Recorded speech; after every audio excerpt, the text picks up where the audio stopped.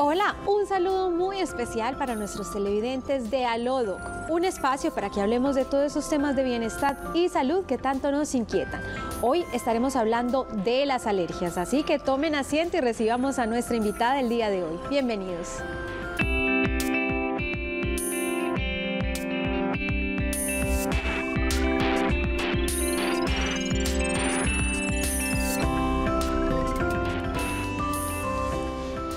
Qué estaremos hablando el día de hoy? De esas alergias, alergias a veces a los animales, alergias que podemos sentir por el polvo. Y para eso hemos invitado a Jessica Escobar, que es la representante de la, marca, de la marca Dominos. Bienvenida. Hola, ¿cómo estás, Juli? Muy, muy bien. Primero contémosle a nuestros televidentes qué es una alergia. Así es, muy buenos días para todos ustedes. Es un honor estar aquí en este programa tan, tan bonito.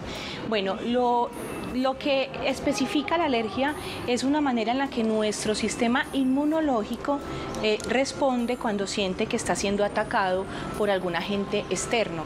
Entonces a eso lo hemos denominado alergia o también hipersensibilidad. Bueno, ¿cuáles son esos tipos de alergias que existen? Hay muchas, pero hay cuatro en específico. Vamos a categorizarlas, ¿listo? Entonces la primera, vamos a hablar de las alergias crónicas, esas alergias que todo el tiempo usted permanece con gripa, indispuesto, que de pronto tiene flujo nasal, que le pica todo el tiempo los ojos, eso es una alergia crónica, entonces hay que mirar crónica que permanece en el tiempo, ¿cuál es la razón? Tenemos otra alergia y es la alergia, normalmente la que se da es, este tipo de alergia eh, climática se me estaba yendo el nombre, o estacional. O estacional, ¿cierto? Acá en Colombia le llamamos climática o estacional. Y es que tiene que ver con las estaciones o con el clima. Por ejemplo, usted se levanta el día de hoy y está haciendo mucho frío. Entonces usted se siente congestionado. Sus vías respiratorias se sienten congestionadas. Pero en la tarde está haciendo sol y la tarde ya no se siente congestionada. Eso es una alergia climática, ¿cierto? Tiene que ver mucho con el medio ambiente. Estamos también hablando de las alergias alimenticias, hay unas alergias que tienen que ver con los alimentos, hay otras alergias que tienen que ver al polen.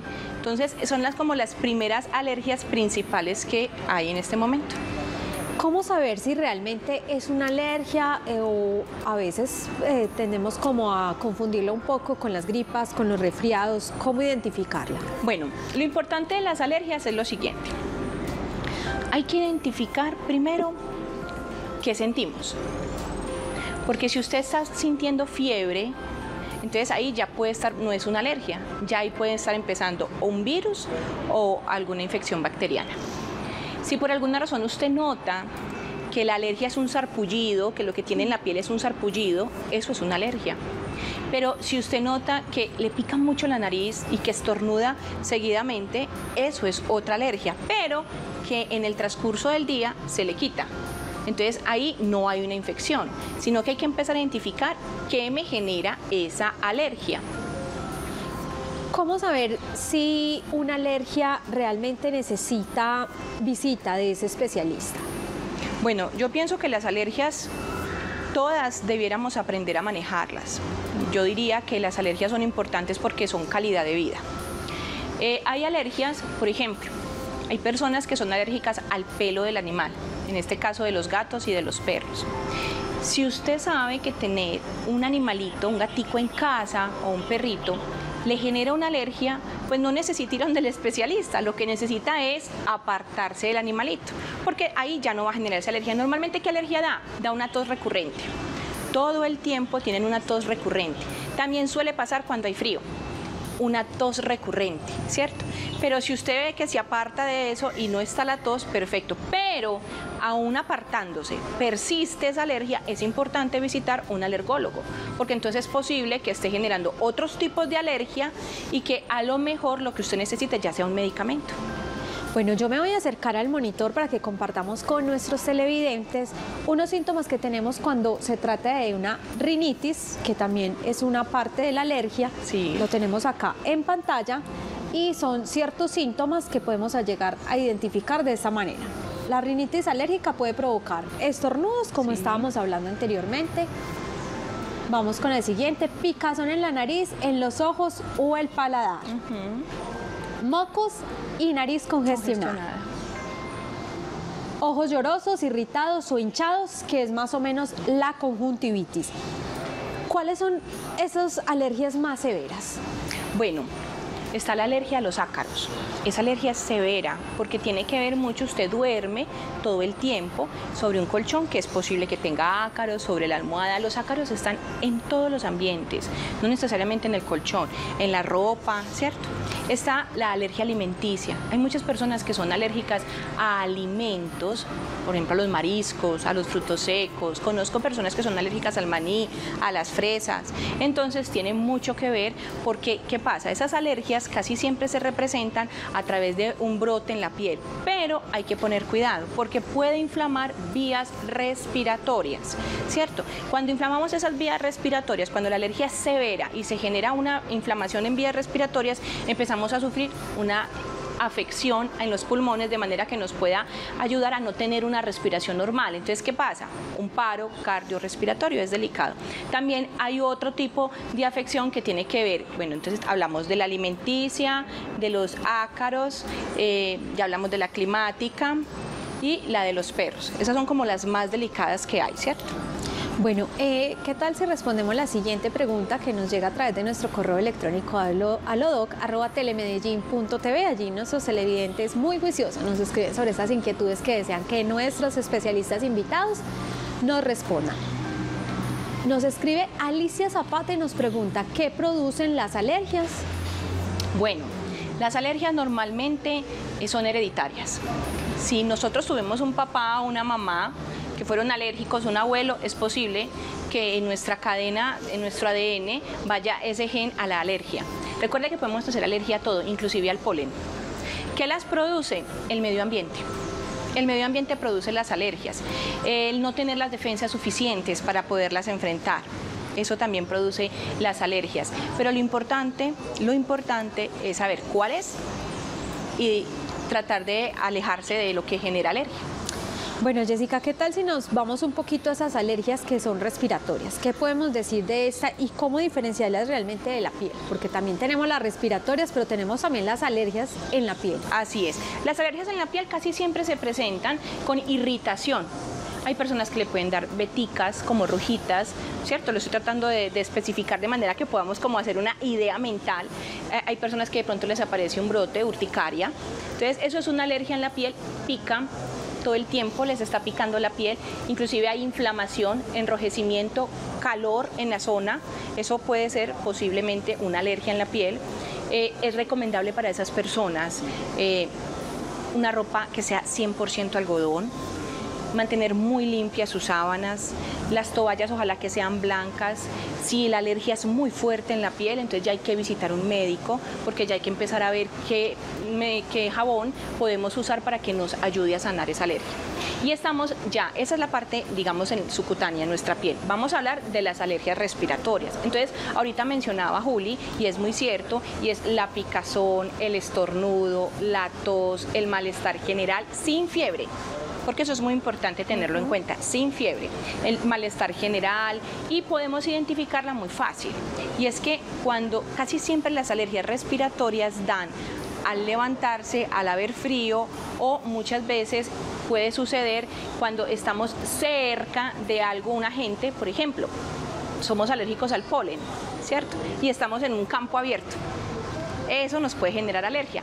Lociones nos puede generar alergias. Hay lociones que generan alergias.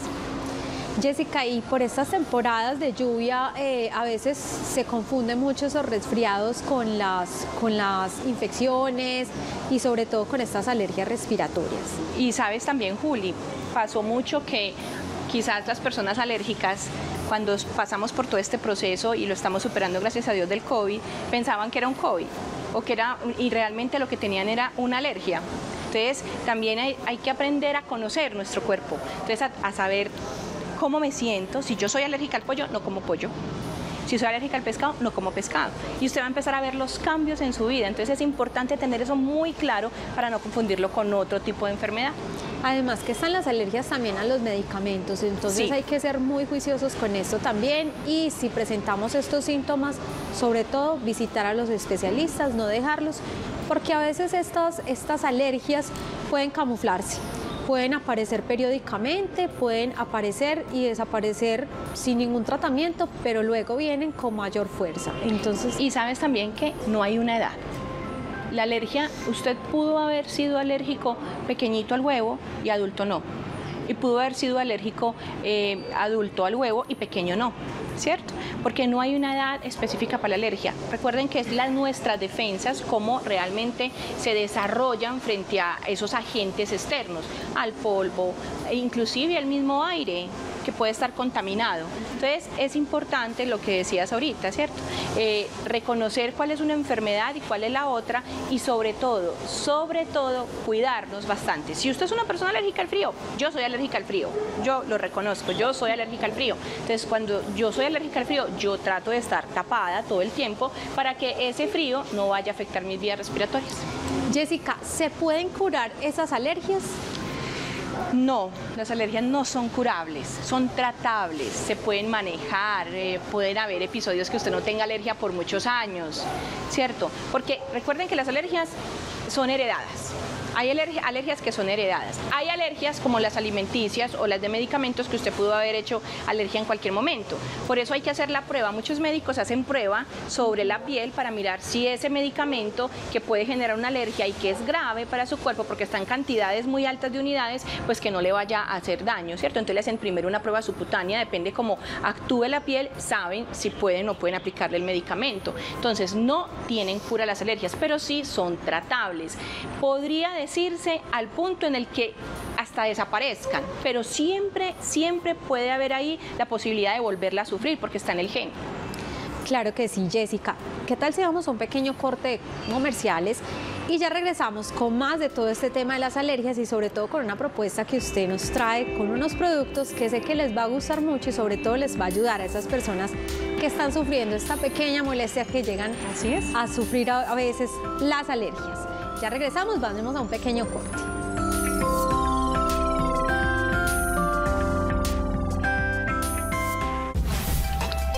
Estás viendo a Lodo.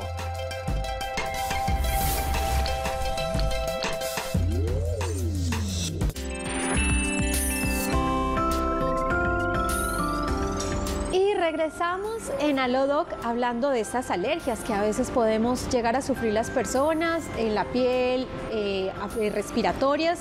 Jessica nos contaba eh, a veces los tipos de alergias que se pueden llegar a producir. Jessica, ¿quiénes pueden padecer estas alergias?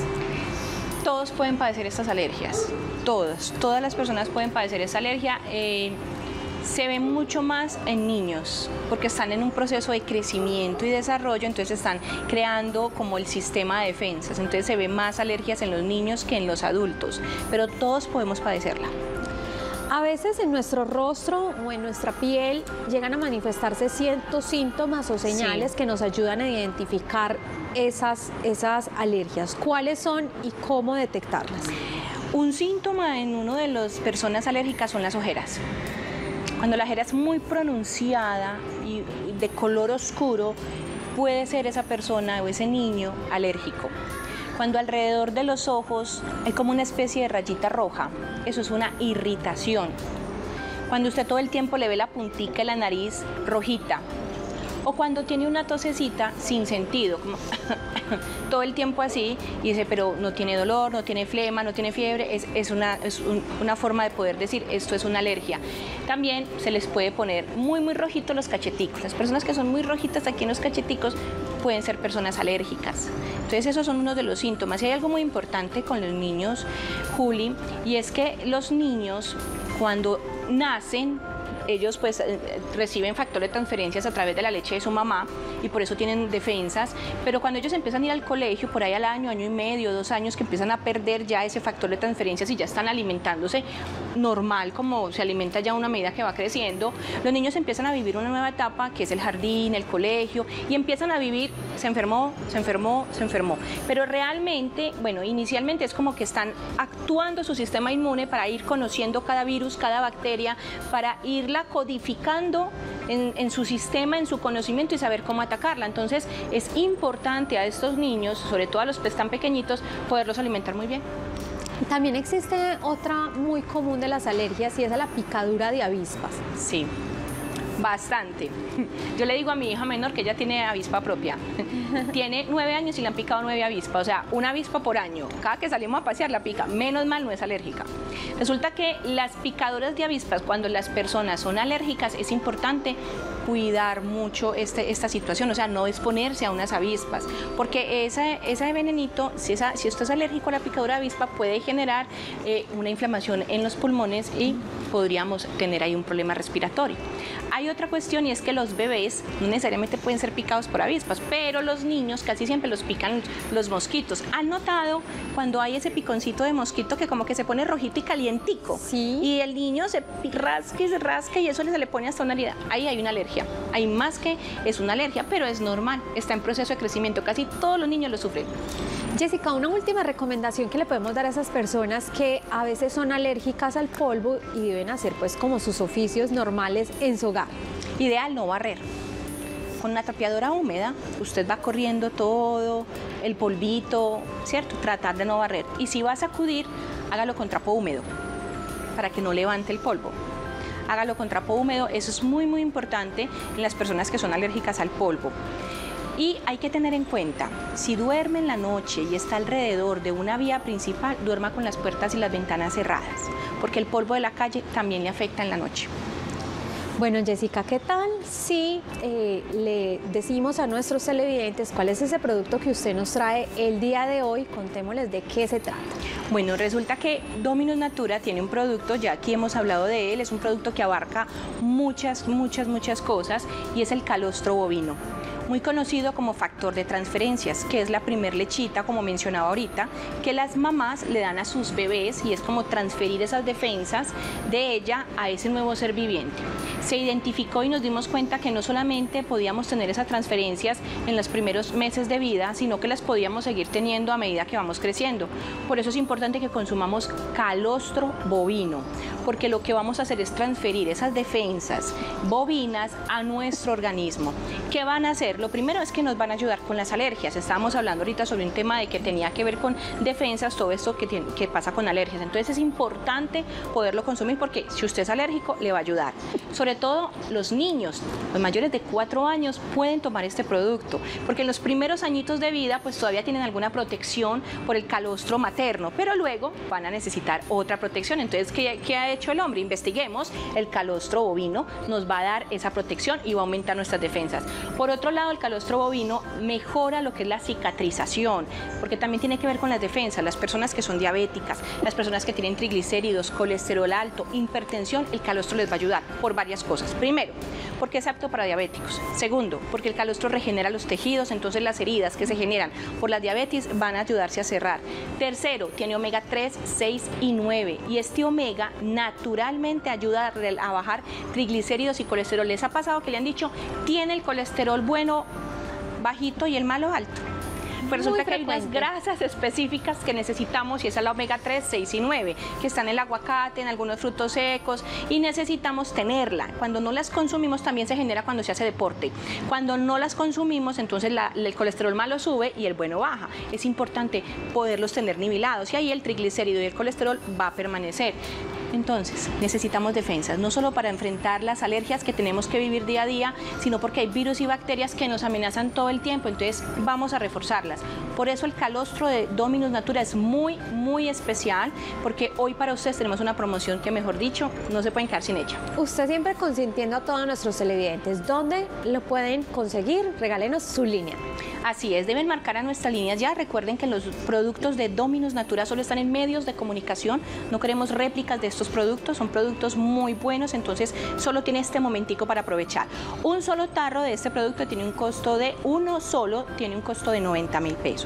Hoy le vamos a enviar a la puerta de su casa por 99 mil 900 pesos dos calostros y además le vamos a enviar una vaso licuadora portátil. Ese vaso licuadora es muy bueno porque ahí mismo pueden preparar el calostro, les cae una vez el vaso, se lo llevan para la oficina, lo pueden regalar ahorita en diciembre, mejor dicho, el mero bafle, eh, perdón, el mero, el mero, el mero, la licuadora vale 70 mil pesos, pero hoy no la estamos vendiendo, se las estamos regalando, así que a marcar a nuestras líneas ya, 322-7172, 322-7172, hay un WhatsApp también, 300 4 448-8689. Allá están dispuestas nuestras operadoras. Si usted es cliente VIP, hemos denominado cliente VIP, cliente que ya ha comprado los productos de Dominus Natura en Alodo, usted puede reclamar otro regalito extra. Así que marque ya 322-7172. Qué maravilla, si vamos fidelizando a estos televidentes tan, tan, tan comprometidos con este contenido. Eh, ¿Quiénes pueden tomar este producto?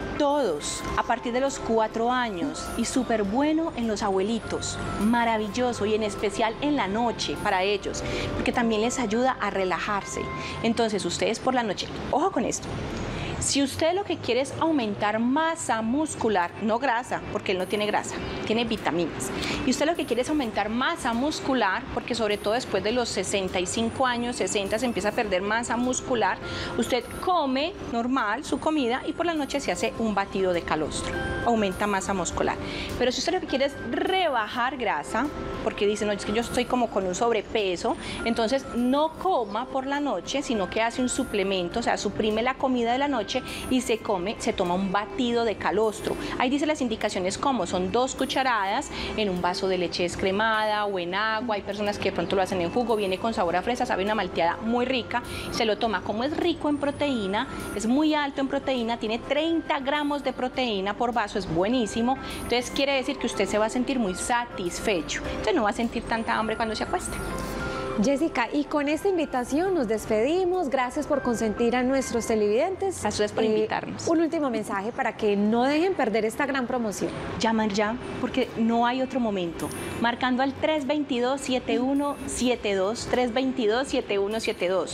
Por 99.900 se llevan los dos potes de calostro más la licuadora. Así que a marcar ya, 322-7172. Dominus Natura siempre está pensando en el bienestar de ustedes y en el de los que aman. A ustedes, gracias por su sintonía. Recuerden nuestra cita de lunes a viernes a las 8 y 30 de la mañana en Alodoc. Hasta pronto.